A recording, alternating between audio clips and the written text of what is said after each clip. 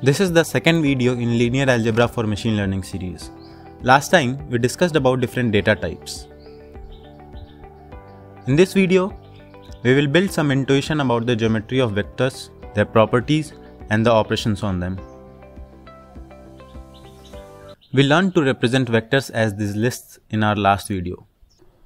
From a geometric perspective, this is how you can represent a two-dimensional vector on the Cartesian plane. The vector is an arrow with a tail at the origin and the head at the value of the vector.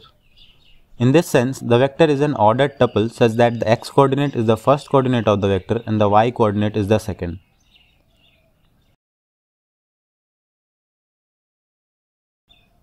C is a vector in three-dimensional space. A similar geometric interpretation can be imagined for n-dimensional vector in an n-dimensional space, but that isn't possible for me to animate on screen here.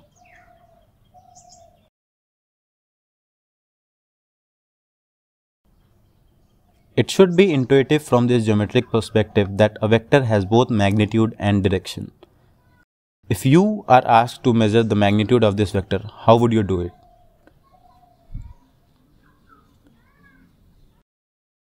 One way would be to calculate the sum of the absolute differences between the Cartesian coordinates.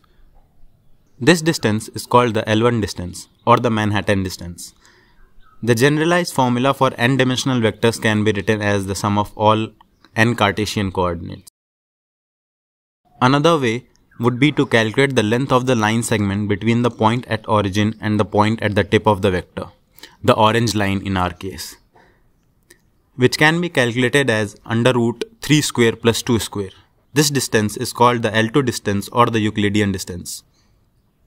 By now you must have realized that there can be infinite ways of calculating the magnitude of a vector. The magnitude of a vector is measured in terms of its norm. The p norm for p greater than equals 1 provides a generalized way of computing any norm of a vector and is represented by this equation. Note that if you substitute p equals 1, you have the equation for L1 norm, p equals 2 gives you the equation for L2 norm and similarly you can substitute any value k greater than equals 1 for p to calculate the k norm. Three norms derived from p norm are popular in machine learning. We have discussed two of them, L1 and L2 norm and the third is L infinite norm or the max norm. You might ask how did anyone substituted infinity into the equation and derived the max norm equation? Well, you just calculate the limit of the equation as n approaches infinity. Turns out it is just the max element of the vector. A vector with Euclidean norm equals 1 is known as a unit vector. Any vector can be normalized to a unit vector by dividing it with its norm. For example, the Euclidean norm. A hat has the same direction as that of the original vector but has unit magnitude. This square represents the region that is traversed by the unit vector of the L2 norm type. Similarly, this circle represents the region that is traversed by the unit vectors of L1 norm type. Understanding the shapes of these regions is crucial in choosing approximate norm types in machine learning. The norm is generally used to evaluate the error of the model or can be used in defining a regularization term which includes the magnitude of the weights to encourage small weights. Most optimization problems reduce to norm minimization.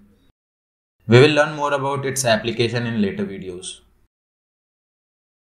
The magnitude of a vector can be stretched or shrunk.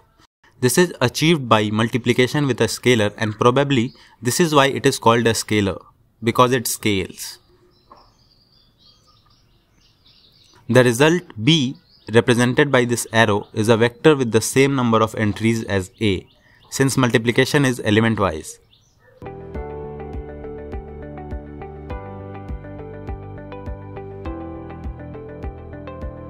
Notice that the scalar multiplication can also change direction if alpha is a negative number. We just saw that vectors have direction and that they can be shrunk, stretched or flipped. Can they be rotated? The answer is yes, of course, but before I tell you how, I want you to pause the video and think how can we rotate this vector. You can pause the video now.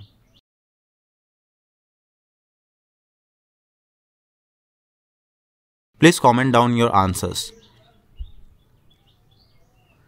If you didn't had any answer, no problem.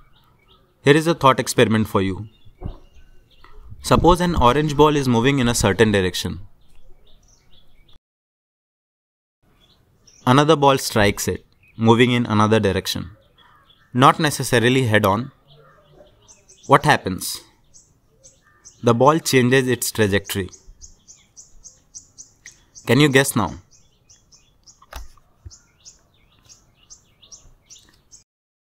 Yes.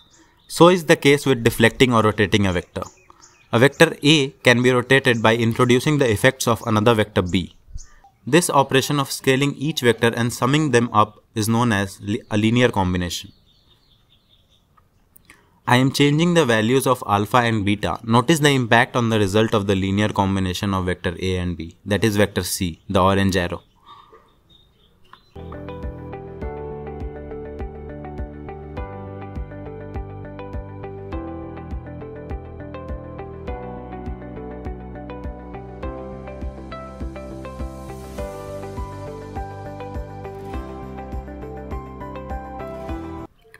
So the result of a linear combination of a set of vectors is a new vector with the same number of entries but different direction and magnitude.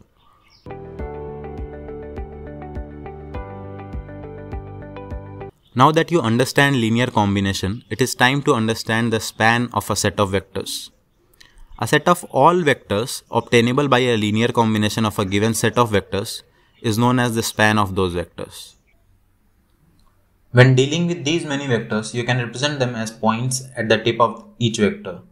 So in effect, when you think about the possible two-dimensional vectors all at once, what you will be thinking about is the infinite flat sheet of two-dimensional space itself. From the linear combination example, it was evident that by just varying the scalars, it is possible to move the output vector a whole 360 degrees. Thus, you need at least two vectors to span the whole of a two-dimensional space. Such two vectors are known as the basis set of that space. The span of the two axes is the entire two-dimensional plane of the screen. So the two axes are known as the basis of this span or space. A crucial point to mention here is that any two input vectors can be a basis for the two-dimensional space unless the two input vectors are linearly dependent, that is scaled versions of each other. I am leaving it up to you to identify why so. Answer in the comments below or ask back if you couldn't find the answer. Similarly, the linear combination of the basis vectors i hat, j hat and k hat spans the complete three-dimensional space. Notice how introducing a new linearly independent vector can add a new dimension to the space. So to fully access the four-dimensional space, you need four linearly independent vectors and four scalars and the set of all vectors formed by their linear combination is a four-dimensional space. That is it for this video. Thanks for your time. Have a great day.